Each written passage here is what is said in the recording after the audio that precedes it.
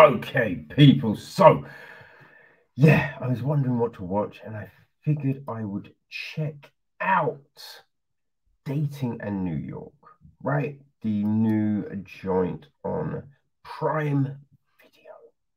You know, it is um, written and directed by Jonah Feingold. Uh, it's his directorial debut as well, his feature debut. You know what I mean? Uh, the film is produced by um, Feingold and Jakeem Akrich. Um, is executive produced by Jaboukie Young White Sam Weinstein, Craig Swindler, Francesca Reale, Mason Novick, Matthew Lev, Tracy Kopolowski, uh, Jerry Ferrara, Spencer Barkoff, co-produced by Kieran Altman and Katie Schiller. I mean, I kind of feel a lot of those co-produced must be right credit based because yeah, that's a lot of people to have up on a joint. You know what I mean? Um, music is from Grant Fonda. Cinematography is Maria Rushk. It's edited by Hannah Park. Casting is Chelsea Ellis Bluch and Marisol Roncalli. Okay, so the production design is Michelle Lee. Um, makeup is Alina Gantz and Lily Lee. Uh, production management is Jeremy Trong. Um, and our cast, well, Interestingly enough, people, I mean, now you might go, no, that's not that interesting. But, right, Francesca Reale, who is in one of our other films this week as a bit player, she's one of the leads. She plays Wendy Brinkley. Um, opposite Milo Marks, who is played by Jaboukie Young White. Now, Milo's best friend is Hank Cadner, played by Brian Muller. And Wendy's best friend is Jessie Katz, played by Catherine Cohen. Right, we've also got Olivia, played by Taylor Hill. Um, there is um, so Jesse sees uh, Dot, uh, the shrink Dr. Laura Trube, played by Deborah Offner. Um, now, Feingold also plays one of uh, Wendy's dates in the film, Mort. Um, we got Sandra Sandra James as a real estate agent. Uh, got Bradley, another of Wendy's exes, played by Arturo Castro, who uh, is in. Um, huh. I cannot think of that fucking. It's the two girls, right? It's, it's that show with the two girls uh, living in New York. Fuck. Oh my days. I cannot think of what that what that is. It went for a few seasons. It, it was a lot of fun. Got a little political in places when they had that episode with Hillary Clinton that seemed very weird. Right? But he's a he was a gay friend in that. I cannot yeah. Oh can't think of what the show's called. That's fucking irritating. Jesus Christ, my memory is horrendous. Right, we've got Trent, another of um, Wendy's boyfriends, who's played by Max Moffat. There's Jenna, one of um, Milo's exes. She's played by Eva Victoria. Um, who else have we got? Okay, so there's a doorman, right? Um, who is well, he doesn't really get. I feel he did have a name. I think they did call him Jerry in it, right? And he's played by Jerry Ferrara. He's also the narrator of the whole joint. And I was like, I, I swear I recognize that dude from somewhere. He played Turtle in Entourage. Yes. I didn't really watch Entourage, but I watched it a few times. So I was like, I recognize that dude. Who the fuck is that dude? And yeah, that's who it is. That's who it is, people. okay. So, um, now, what is this film about, you ask? Yeah, you did. Stop lying. You know you asked that question. Well, I will tell you. Two dating app matched New York millennials draw up a best friends with benefits contract. What could possibly go wrong? Right? Which I mean, as soon as you hear that, you kind of know the film, right? I guess you kind of know the film after learning that, you know. And yeah, it is that. It is that we we have the you know, it's just yeah, they, they play the whole intro of like millennials, New York, dating, dating apps, and going through different apps and all of that. Now, we know what the apps are. no, like essentially what we got uh, Tinder, Bumble, Hinge, eHarmony, OkCupid is that still a fit one? Hmm. But yeah, they're the they're the big ones. Now you've got the offshoots. Like I think there's, I swear there was one coffee and bagel, right? And then you've got you know Jewish ones and you know like neat like niche ones like that. I did believe uh, hearing about one for farmers right? So there's these niche ones, but the, you know the main ones are those, right?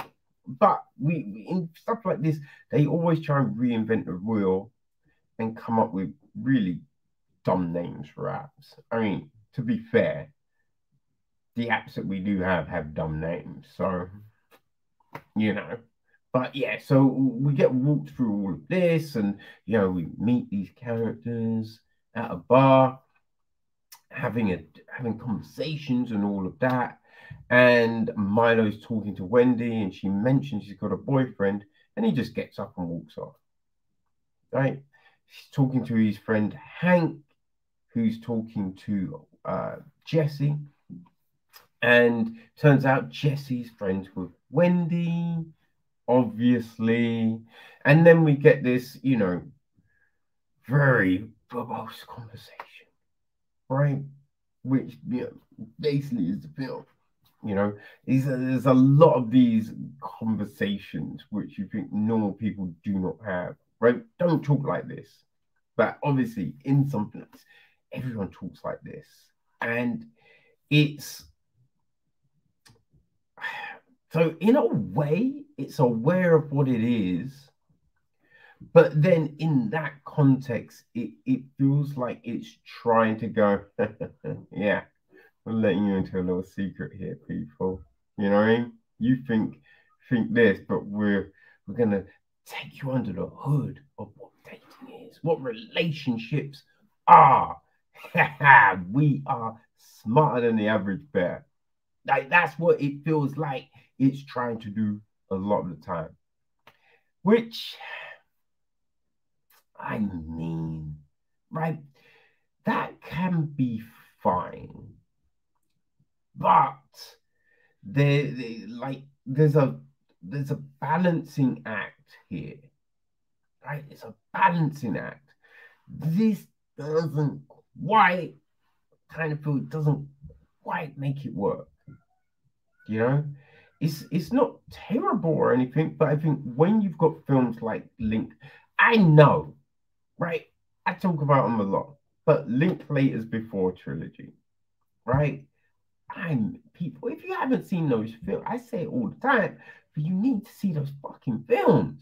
They're incredible, right? They're incredible, and it's just the way they're written, because it feels real, right? They're dealing with real kind of things that you face in a relationship, not the overblown false kind of elements that they throw into a film like this and they go look yeah this is a thing ah they're gonna lose their minds over this and you're just like ah i mean maybe some people do you know maybe some people do i will to be fair but it's not the norm like, we don't need to make this the norm, people. Come on.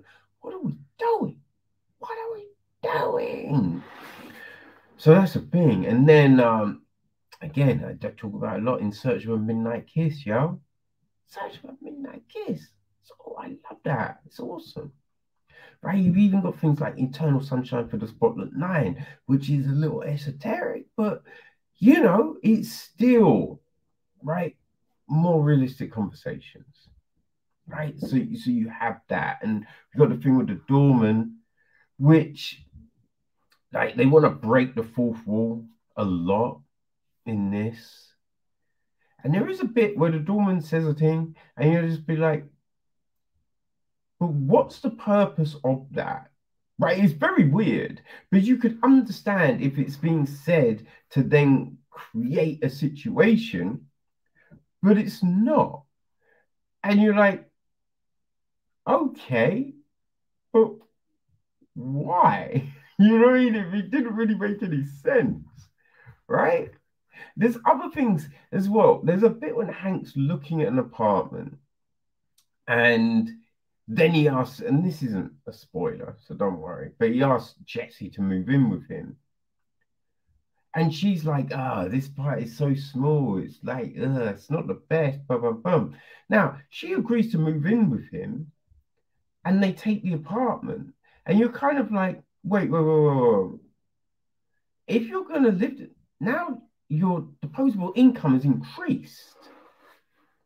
So technically, you could find a better apartment, a bigger apartment, right? That was made no sense right? That whole thing made no sense. Because I'm just like, you're there with the real estate. And, you know, if he had asked her to move in like later on that evening in a bar, boom, you'd be like, okay, fine.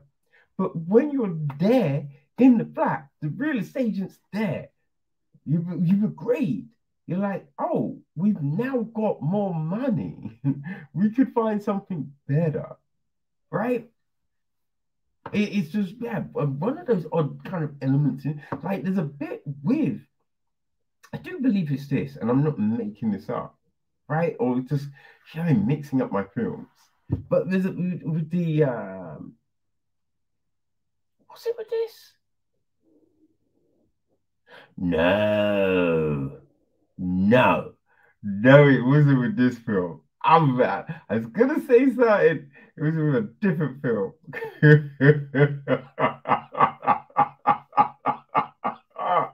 Yo, it's what happens when you watch too many things and your memory is shit. Like sometimes you just mix things up. Woo! oh my gosh. Oh my gosh, I'm an idiot. Woo! Anyway, let's move on. Yeah, let's move on. Um, the characters aren't very likable. I'll say that, right? Because you've got like Milo, who's ghosting chicks on the reg, right? But then it's all about, oh, but I want real love and blah, blah, blah, but not giving other people an opportunity or a chance. And then, you know, Wendy's doing similar shit.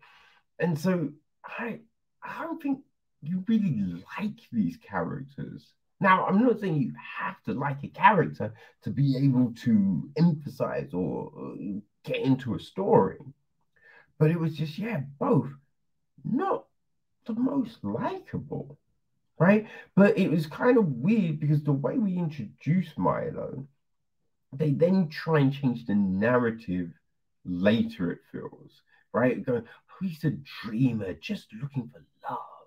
And it's just like, hmm, earlier on, I thought he was kind of being sold as a bit of a, you know what I mean? Ah, one night stand. I'm not nothing serious. I'm a bit of a, you know what I mean? Like the whole, oh, I want something serious, but do you really? Write one of those. Yash. But I will say, right, it, it, it's Homie's first film, right? His first feature film.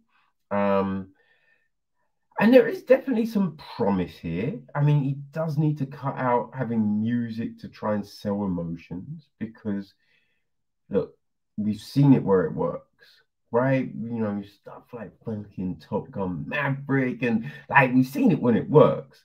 But a lot of times in these romantic comedies, you know, it, it feels rather forced, right? And and yeah, it's, feel a little forced, right? So work on that, you know, some dialogue and all of that. But you know, I mean, his structure was there and everything like that. So there is promise for sure.